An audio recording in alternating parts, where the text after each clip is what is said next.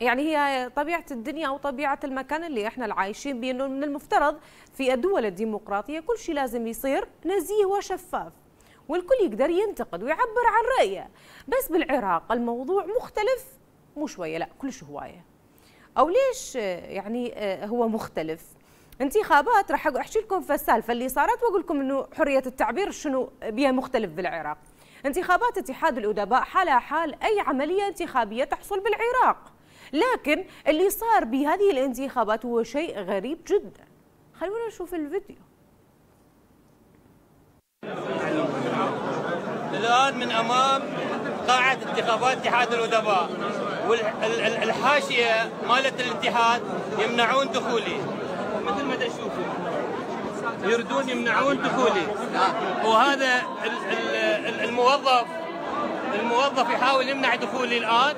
وهاي الانتخابات والمدعوه سافره ناجي ما أدري منين جايبيها تقول لي اطلع من القاعة. وأنا عضو اتحاد أدباء. غريبة والله. طبعا موضوع واضح هو أن اللجنة المشرفة على الانتخابات منعت أو منعت هذا الشخص اللي هو أساسا عضو بالاتحاد. عضو أنت ما يدخلوك للمكان أو ما يدخلوك للاتحاد. يعني منعوه من المشاركة وحتى من الدخول في العملية الانتخابية. بس لأن أبدى رأيه وانتقد واعترض على بعض النقاط لذلك تم تم منعه من المشاركة.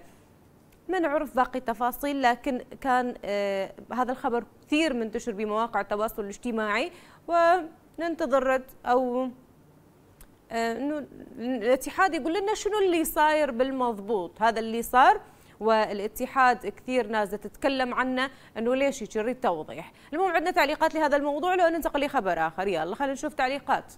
فكانت أولى تعليقات أكيد بالفيسبوك. هذه مهزلة معقولة. هذا حال اتحاد الأدباء. والله ما ندري يا عيني إذا معقولة أو ما معقولة. شوف تعليق ثاني. أين التنظيم في هذه الانتخابات؟ كيف تقبل أو تقبل الأديب هذا التهديد ورفع الأصوات عليه. يا رب هذا مخجل جدا جدا والله يا عيني. بس شو نقول؟ إيش نحكي؟ لما نشتكي. شوف تعليق آخر.